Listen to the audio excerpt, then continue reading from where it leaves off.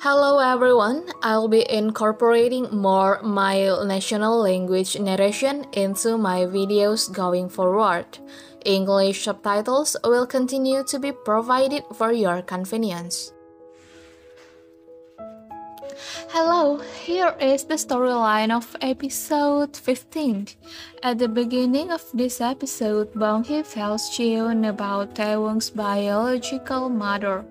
Aeri, Yeon is incredulous. She cannot believe that Seungdon once dated a bald girl and fathered a child with her. Bong Hee blames Seungdon for the hardship Taewoong has faced. However, Kang Joo reveals that Taewoong is far from pitiable. He owns the building where the Lee family lives and is a highly successful man with a net worth of at least $10 million.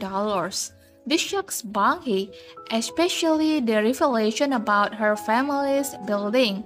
She shares this news and the fact that Taewoong is Seungdon's son with Mandeuk and Gilrye.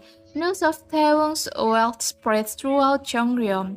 Charim, upon learning that Taewoong is so rich and Seungdon's son, is furious and feels betrayed, believing he has been testing her love. This episode also features a controversial post circulating on the Jiseung Group bulletin board. The post alleges that managing director Seo Kang-joo mishoots company funds to pursue an MBA abroad, secretly majoring in film at New York Film School.